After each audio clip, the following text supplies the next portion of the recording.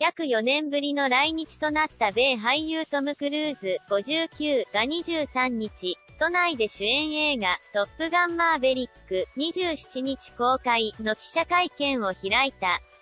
集結した100以上のメディアを笑顔で迎えた。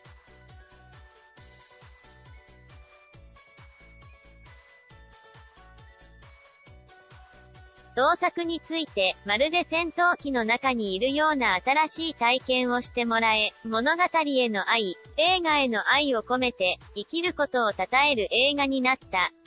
必ず皆さんを楽しませる、と自信、自分の限界をもっと超えるチャレンジをして、もっと観客の皆さんに楽しんでもらいたい思いで作りました、とアピールした。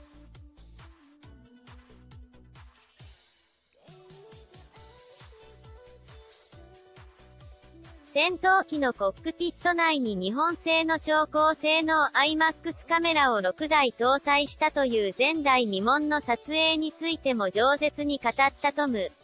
役者人生については、シンプルですが、とにかく努力し、一生懸命に仕事をすること。夢を生きることができている幸せな人間。自分の人生は常に映画と共にある。フィルムメーカーとして有能でありたい、と語った。